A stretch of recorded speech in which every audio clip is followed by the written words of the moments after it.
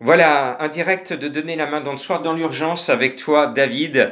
Euh, tu nous as appelé au secours l'hiver dernier. Tu étais à la rue à Lyon et euh, tu as trouvé une solution dans le midi et puis euh, dans le midi de Lyon, en tout cas. Et puis tu nous as appelé au secours il y a quelques jours seulement. Tu as perdu ton appartement et tu as une solution en Saône-et-Loire. Alors, quelles ont été tes difficultés ces derniers jours?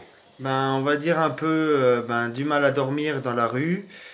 Euh, on va dire sur le chemin, c'est plutôt en vélo qui a été le plus dur parce que les gens ont été très très très mal honnêtes.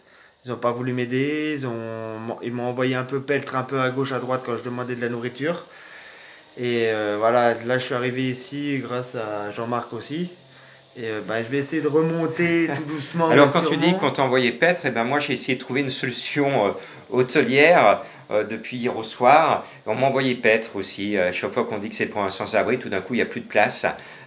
et même les, auberges de jeunesse, donc personne n'en voulait. Donc je voudrais remercier l'hôtel qui t'accueille, qui est proche du métro Victor Hugo. Alors pour nous, donner la main dans le soi, c'est une, une, symbolique, puisque tu sais que l'hiver, on aimerait faire ouvrir euh, cette station de métro par grand froid. Donc on est juste à côté de la station Victor Hugo. Je peux vous dire que c'est un combat pour aider les sans-abri, mais si on ne nous aide pas, comment voulez-vous qu'on les aide? J'ai rencontré, on a croisé euh, à la fin de l'été Gérard Collomb, le maire de Lyon. Il m'avait promis devant le journaliste du Progrès de me recevoir. Euh, tout le mois de septembre est passé, Monsieur Collomb ne m'a pas appelé. Que se passe-t-il?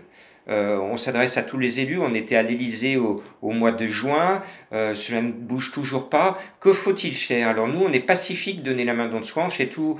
On fait pas de manifestation. On fait tout avec le sourire. Est-ce qu'il faudrait qu'on fasse comme d'autres, qu'on organise de grandes manifestations, qu'on casse tout? C'est pas notre façon d'être, donner la main dans le soin. Nous, on tend la main, on ouvre notre cœur. Mais des fois, on, est en droit de se demander, mais euh, pour être entendu, qu'est-ce qu'il faut faire? Il faut tout casser?